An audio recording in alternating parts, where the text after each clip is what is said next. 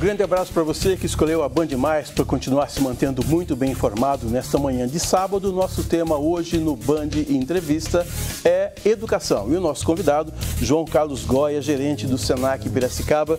Prazer estar aqui conosco. Muito obrigado por ter aceito o convite.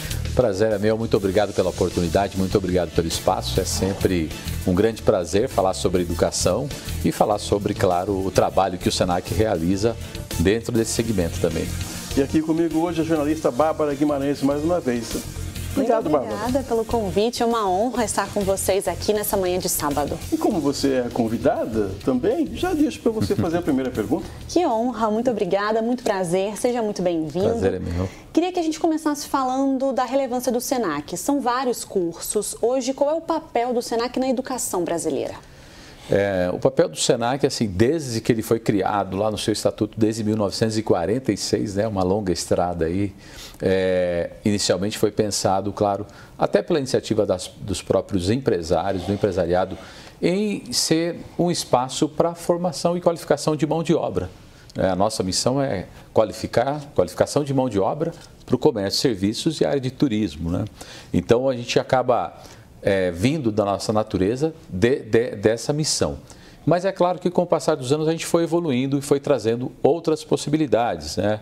Hoje o SENAC ele tem uma abrangência, um leque muito grande é, de, de, possibilidades de, de formação educacional que vão desde, claro, o nosso carro-chefe, que são os cursos técnicos e os cursos de qualificação profissional, mas muitas outras modalidades, como aperfeiçoamento, né? são cursos de curta duração, é, aprendizagem, que é um programa de inserção dos menores no primeiro emprego, na primeira oportunidade de trabalho, graduação, pós-graduação, extensão universitária e recentemente incorporado também no nosso portfólio o ensino médio integrado aos cursos técnicos. Então a gente tem uma abrangência muito grande dentro de todas essas modalidades. O ditado popular diz que quando a gente gosta de uma coisa, de um lugar, de uma comida, a gente fala para uma pessoa e quando a gente não gosta, a gente fala para dez é pessoas. Isso mesmo. a, a, a divulgação do trabalho que é feito pelo SENAC, ele é ainda um trabalho boca a boca?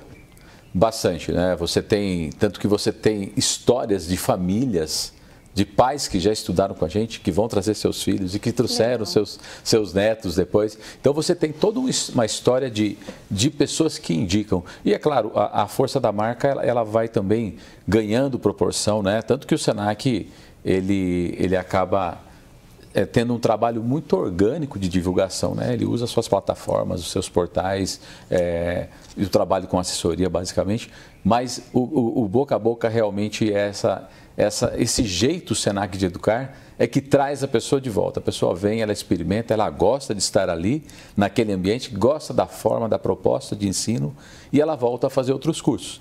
O, o, outro, outro dito popular é assim, né? Antigamente brincávamos, o médico quer ser médico, vai estudar a vida toda. Hoje você quer ser qualquer coisa, você vai estudar a vida toda. E aí as pessoas voltam para estudar mais, para fazer um aperfeiçoamento, para participar de um evento. Enfim, ela, ela continua é, numa relação de proximidade com a instituição. Sobre esse lugar do Senac ser um lugar de acolhimento, a gente fez uma reportagem recentemente para o Band Cidade sobre etarismo, aquela polêmica de uma mulher mais velha que foi alvo de chacota Sim. e bullying. E a gente foi no Senac mostrar histórias de pessoas que voltaram a estudar por questões financeiras, porque foram criar suas famílias e só Sim. agora tiveram a oportunidade. E fomos ao Senac e todas falaram isso, como é um lugar de acolhimento, um lugar que independente da minha idade, de onde eu vim, se eu sou mais velha, se eu tenho filho, a gente senta aqui, a gente aprende, a gente tem prazer nisso. É um dos valores de vocês, né? Exatamente. É, a gente vai trabalhar tanto com a diversidade, com a inclusão, são valores da marca que nós, nós trazemos, né? como empreendedorismo também. Né? É, com exceção da aprendizagem e dos cursos de ensino médio, que você tem um público definido, né, a idade definida para a inserção, os demais cursos, as demais modalidades, nós temos turmas muito heterogêneas, isso é muito interessante. É. E isso traz um espaço de convivência diferenciado, porque aí você tem o jovem com o adulto e com a pessoa que tem mais idade, todo mundo participando ao mesmo tempo desse mesmo ambiente e todo mundo se tratando com igualdade, né? É, com a mesma, mesma questão de respeito, respeito à sua história, respeito à sua inexperiência e nós construímos esse processo de aprendizagem juntos, né? Então, realmente isso acontece e é muito gratificante ver isso acontecendo. Nós estamos vivendo essa semana, a Semana da, da Educação, o SENEC também está fazendo aniversário.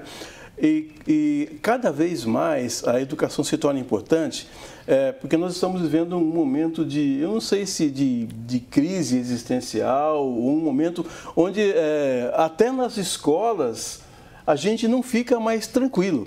Então, o que eu queria perguntar para você é isso: se, se é, qual tem sido realmente o papel da educação num momento de crise como esse que nós estamos vivendo? É, o primeiro papel é realmente garantir que a escola seja um espaço realmente de convivência, um espaço que deve ser prazeroso e não deve ser temido ou, ou que alguém tenha aqui para a escola com algum tipo de apreensão. Então esse resgate ele é importante, claro, é, desse espaço da escola. E, e, e o que, que nós fazemos nesse sentido é trazer as famílias também para participarem do dia a dia da escola, para que elas também façam parte e consigam ajudar a melhorar questões que precisam, que podem evoluir. Mas é claro, é, a gente vive esse cenário, né? é um cenário é, preocupante que, que, que ele teve também um ganho de. É, esses jovens, eles acabaram, né, nesse confinamento forçado que a gente teve durante a pandemia, acabaram potencializando várias crises que acabaram refletindo dentro do ambiente escolar. Né? Quando nós voltamos da, da pós-pandemia, é, foi realmente um momento assim de muita apreensão, né? não, não de, de situações de violência como a gente tá, vem vivenciando ultimamente, mas uma euforia muito grande e muitos casos aí de, de jovens né? É, que estavam ainda sofrendo muito sobre a questão da, dessa, desse isolamento social. E aí o, o que a escola vai fazer é garantir que esse espaço de convivência seja realmente um espaço onde a pessoa se sinta bem, se sinta acolhida. Ela, é, isso, inclusive, é mote da nossa campanha atual, né? É, você pode ser o que você quiser, né? Onde, é, da forma que você quiser, você escolhe o seu, seu futuro. Então, com esses valores, com essas mensagens, a gente vai dizendo, olha, aqui você pode, pode dizer o que você pensa, você pode trazer a sua contribuição, ela é muito bem-vinda, né? A nossa metodologia não trabalha é, como professor, sendo detentor de saber ou mestre, né? ele é o mediador do processo e toda a contribuição ela é acatada, ela é bem-vinda e ela contribui para esse processo de ensino-aprendizagem. João, você fala um pouco né, dessa metodologia, dessa técnica de vocês. Eu queria que a gente falasse um pouquinho então do Senac Piracicaba, que foi fundamental para a formação de muitos profissionais aqui no interior de São Paulo, ainda é. Sim. Instituição que está completando o aniversário. O que, que você acha que deve ser feito daqui para frente, que vocês já fizeram? Como é que você faz esse balanço de aniversário para a gente? É, são 30 anos de atuação lá em Piracicaba e e fico muito contente porque eu comecei como professor lá no Senac. É né? mesmo? Do é. quê? Comecei como professor na área de comunicação e na área de, de, tecnologia, né? Que bacana. E aí depois eu perambulei um pouco pelo estado todo até que eu voltei como, como gerente do Senac em Piracicaba, né? Em 2009. Então, é, é, muito gratificante ver essa evolução da história da, da instituição na cidade, não só em Piracicaba, mas em todas as cidades de forma geral, a história, a relação é, não só de formação profissional, mas a relação de crescimento e desenvolvimento junto com a comunidade. Então a gente tem muito forte esse trabalho, né? Nós somos parceiros é, das empresas do poder público, nós estamos realmente inseridos no cotidiano das cidades. E Piracicaba foi assim, né? Começou é, com o trabalho desde os primórdios lá, nem tinha uma unidade do Senac, ela usava espaço de terceiros no início. Depois ela foi para uma área que foi um prédio cedido é, pela Prefeitura de Piracicaba, incomodado, onde nós ficamos por 23 anos. E 2013, aí nós inauguramos o nosso novo prédio, que foi também um presente para a cidade. A nossa diretoria entendendo o potencial, a importância de Piracicaba, né, dentro do contexto regional, dentro do contexto do Estado, é, trouxe uma, unidade, uma nova unidade para a cidade. Aí sim, uma unidade do SENAC, né, que foi construída é, no centro, no coração da cidade ali, e que hoje praticamente nos ajudou a triplicar a capacidade de atuação na cidade. Né? É claro que a gente tem muita coisa para fazer, é, a gente não para dentro dos muros da unidade, nós temos cursos em parcerias com várias instituições na cidade, nós levamos a, a metodologia, a tecnologia Senac para fora dos muros da unidade e o que a gente pretende fazer cada vez mais é, é cada vez mais aproximar e oportunizar a inserção dessas pessoas no mercado de trabalho. Né? Hoje nós temos inúmeras plataformas que auxiliam nisso, mas o grande projeto realmente é fazer do Senac um espaço cada vez mais acessível, né? principalmente pensando em quem não tem possibilidade hoje de custear um curso, de pagar um curso. Então, ser um lugar acessível, onde as pessoas vão ter um ensino de qualidade, né, que não deixa nada a desejar, nenhuma grande instituição de primeiro mundo, inclusive, e onde ela vai conseguir enxergar as possibilidades e oportunidades para conseguir se inserir no mercado de trabalho. Estava dando uma olhada no material que vocês mandaram para a gente, que a sua assessoria mandou, e tem uma frase lá que eu resolvi destacar para perguntar para você. Vocês, vocês falam em contribuir para a mudança de realidades e mudar a vida das pessoas. Exato. Queria que você falasse sobre isso. É, acho que a primeira questão que a primeira inserção que eu posso fazer para responder essa questão é falar sobre essa inserção da, da possibilidade do estudo gratuito. Né? É, quando você. A, a, educação, nós temos muito claro isso, que ela é uma das grandes ferramentas, dos grandes pilares para promover mudanças sociais. Né? E quem promove mudança social não é a educação, são as pessoas. A gente promove mudança, ajuda as pessoas a, a, se modificarem e elas promovem mudanças sociais. Então, esse é o nosso mote. Você oportunizando possibilidades para quem não é, jamais é, teria uma oportunidade de estudar numa instituição com um curso de qualidade, você começa a mudar a realidade dessas pessoas. Quando nós levamos valores como diversidade, né, respeito, inclusão, é, a, a, questão de, de saber lidar com os conflitos, respeito ao próximo, respeito a quem for, independente é, de, de, das ideologias, da, dos pensamentos diferenciados, quando a gente começa a levar esse tipo de valor para dentro da sociedade, quando a gente tem formação e qualificação para pessoas com deficiência e consegue ajudá-las a se inserir no mercado do trabalho, nós acreditamos que a gente está conseguindo promover mudanças sociais. E essas mudanças elas começam realmente com as pessoas, mas é claro que a partir do momento que essas pessoas sejam oportunizadas, que elas tenham possibilidade de ter acesso a esse conhecimento para que elas mesmas consigam se movimentar e encontrar os seus caminhos. Nós vamos, Bárbara, para o nosso intervalo comercial. Daqui a pouco a gente volta. Hoje, no Band Entrevista, estamos conversando com João Carlos Goya, que é gerente do Senac Piracicaba. O tema é educação. A gente volta já.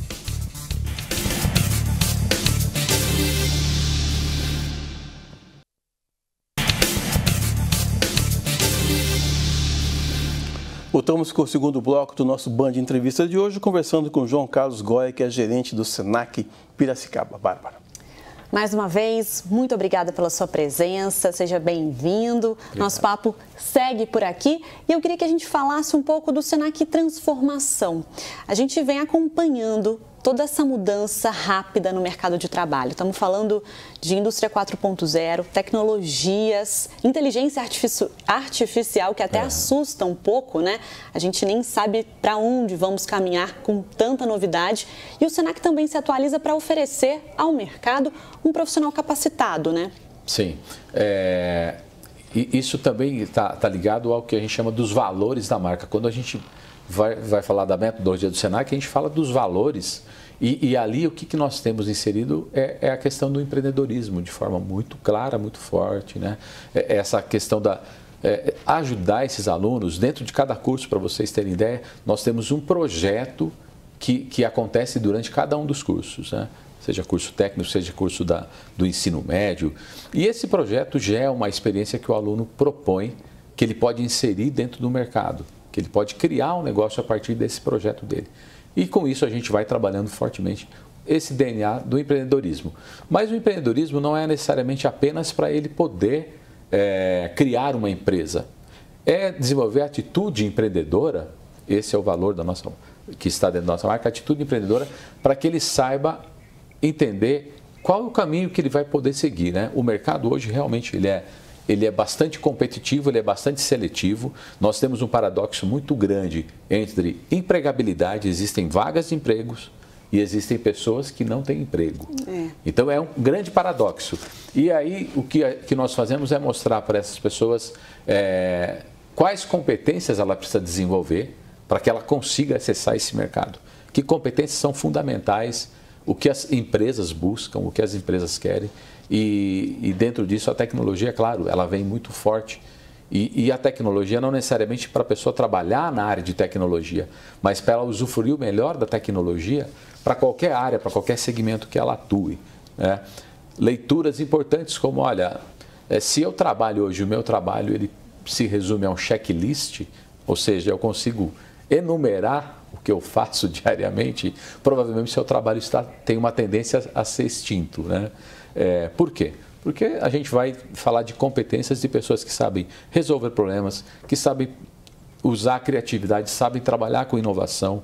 E a inovação, leia-se também, não é fazer apenas criar algo maravilhoso, inusitado que não existe, mas às vezes é uma inovação que vai melhorar a produtividade, vai melhorar a, forma de fazer negócio ou a forma de se produzir. Pensando em valores também hoje, né, que é uma tendência muito forte, né? nós falamos da questão da sustentabilidade. Né? É, então, são, são valores que estão dentro da nossa marca e que começam a conectar essas pessoas com o mercado de trabalho. Falamos muito sobre economia criativa. Por quê? Economia criativa ela não se resume a um checklist, são, são competências que vão trabalhar sempre o lado criativo, o lado intuitivo das pessoas, dos profissionais, e esse lado que vai, vai, vai alimentar ferramentas, que aí, claro, são tecnológicas e podem substituir mão de obra e vão substituir. Né? É, essa capacidade de você olhar para o mercado, por exemplo, quando você vai no supermercado hoje, você já percebe o que? Praticamente todos já têm o autoatendimento. Né? Ou seja, qual uma profissão provavelmente que vai ser extinta? O caixa de supermercado. Então, se eu sou um caixa de supermercado, eu preciso olhar para a próxima curva. O que é que eu vou ser depois de caixa de supermercado? Quais competências eu preciso desenvolver e que cursos? Porque aí sim, só através da educação de cursos que vão possibilitar essa sua transformação. Né? A Bárbara tocou num assunto interessante que é a educação do futuro e, é, e pessoas que nasceram no século passado, como eu, daqui a pouco a, a, gente não vai mais dizer assim, olha, eu estudei nesse prédio, estudei nessa escola, porque você tá, ele estava dizendo, Bárbara, no início do, do, do programa, antes de, de, a gente começar o programa, que são mais de 30 mil alunos só no sistema EAD, é uma, é uma marca espetacular, né? Só no ensino superior, né? É, então aí a gente tem modalidade, a modalidade EAD em todas as demais. E uma grande tendência, claro, que os cursos, inclusive presenciais, se tornem híbridos. Né?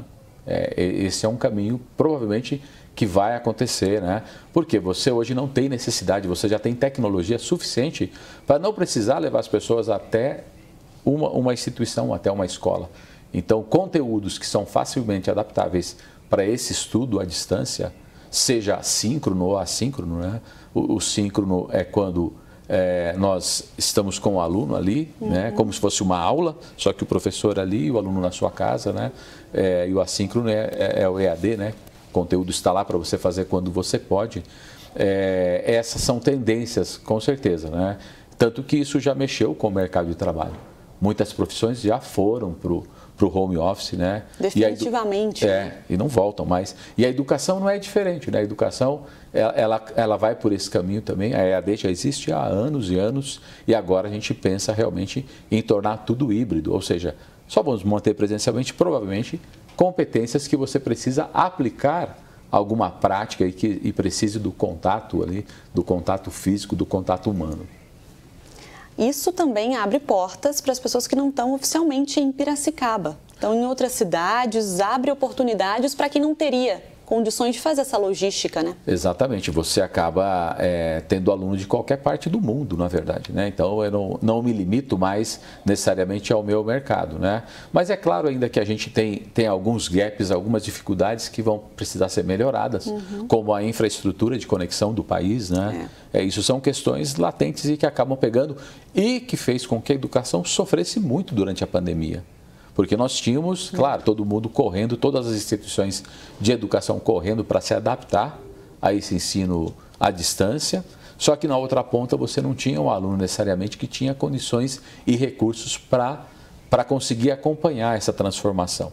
Então isso aí são gaps, claro. Hoje a gente tem muito mais pessoas conectadas, isso é verdade. Nós temos pessoas, é, todo mundo praticamente tem acesso à informação, tem o celular provavelmente.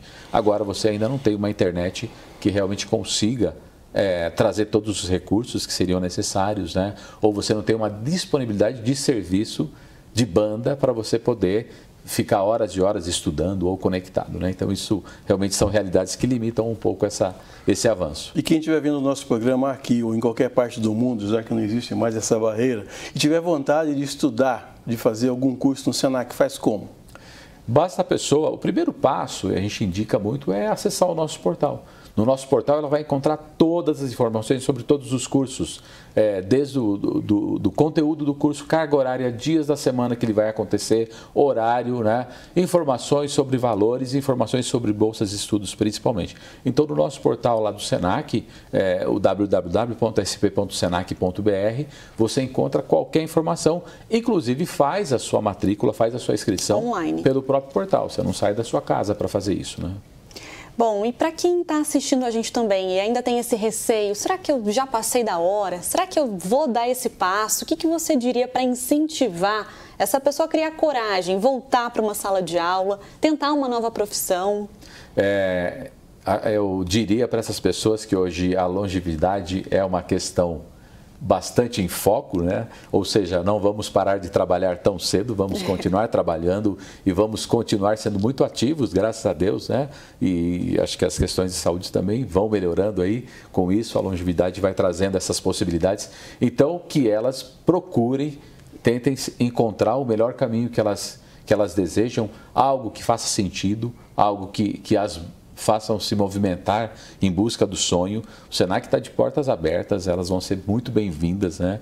Todas as pessoas de todas as faixas etárias, mas é, a pessoa de qualquer idade vai ser muito bem-vinda. Nós vamos estar lá e com certeza com o jeito Senac de educar, ela vai, vai, vai descobrir que, que não tem nenhum segredo, que ela tem capacidade sim de acompanhar, que ela pode, inclusive a partir de suas experiências de vida, trazer muita contribuição para quem vai estar na sala de aula ali com ela e, e, geralmente começando a sua vida, a sua carreira, né? Então, claro, é, e está totalmente aberta essa possibilidade. A gente faz questão de ter essa heterogeneidade em sala e as bolsas de estudos estão aí, né? Bolsa, palavra mágica, é isso que eu queria saber.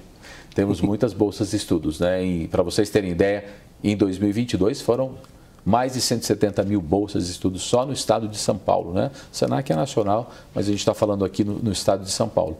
Esse ano nós temos previsão de 180, mais de 180 mil bolsas. Só lá em Piracicaba, entre 2.500 a 3 mil bolsas de estudos. Ou seja, só não vai estudar quem não quiser realmente. As oportunidades estão aí, o mercado realmente é seletivo, o mercado ele exige que a pessoa esteja preparada, exige que ela desenvolva competências técnicas e competências comportamentais, então é necessário que ela entenda que ela precisa estudar. Seja para mudar de área, seja para crescer na área que ela se encontra, ou seja para criar uma nova forma de trabalho, né? Porque muitas profissões que ainda a gente nem imagina vão existir no futuro. Na nossa própria área, essa mudança foi muito sentido. Acabou aquela história de eu só faço isso, né, Bárbara? Eu só faço isso. Eu só faço isso, né? Não, eu só vou gravar na casa do entrevistado. Hoje ele já mandou um vídeo, a gente já publicou, já está no ar e temos que nos adaptar. É isso. Independente de, de qual foi a nossa vivência até aqui, né?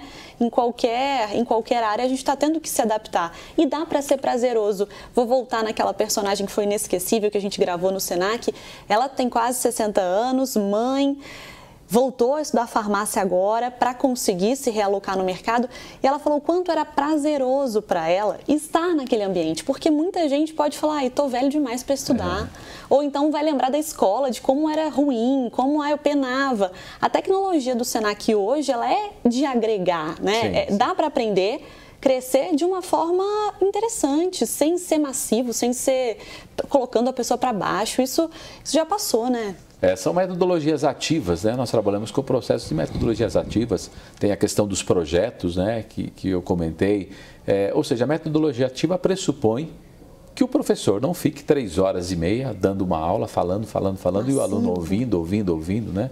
Ele vai pressupor o quê? Que, que o aluno trabalhe em grupo, que o aluno produza, que o aluno vá pesquisar, que o aluno traga sugestões, né? Ele é um, ele é um protagonista, efetivamente. Ele está inserido dentro da sala e esse trabalho com o grupo, né, que enriquece, esse acesso à inteligência coletiva, essa, essa coisa de eu poder me juntar com os diferentes e falar, poxa, deixa eu ver, que bacana como essa pessoa pensa diferente de mim, quantos insights novos ela vai me trazer, né?